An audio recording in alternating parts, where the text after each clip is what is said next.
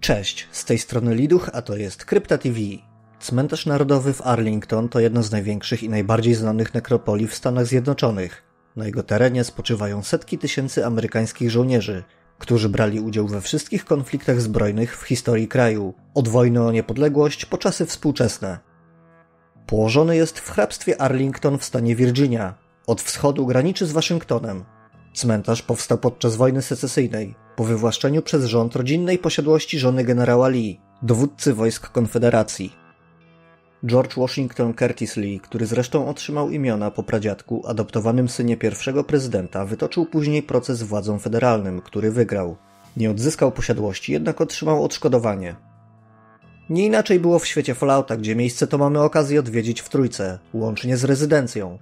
Jeśli jednak chodzi o jej wygląd, to nie różni się wiele od innych domostw na stołecznych pustkowiach.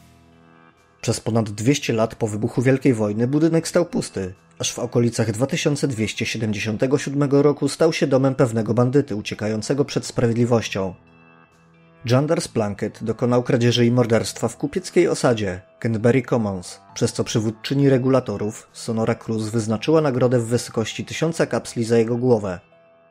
Członkowie grupy nieustannie deptali mu po piętach, jednemu nawet udało się go wytropić, jednak zginął w pobliżu stacji metra Arlington. Tymczasem Plunkett, szukając sensu w życiu, studiował historię zmarłych. Natrafił na postać Abrahama Lincolna, wielkiego przedwojennego wyzwoliciela i przywódcy Stanów Zjednoczonych. Podobnie jak mieszkańcy świątyni Unii zaczął oddawać mu cześć. W piwnicy domu generała Lee zbudował poświęconą prezydentowi kapliczkę. Cóż za ironia losu. Bandytę spotykamy jedynie jeśli posiadamy perk praworządca.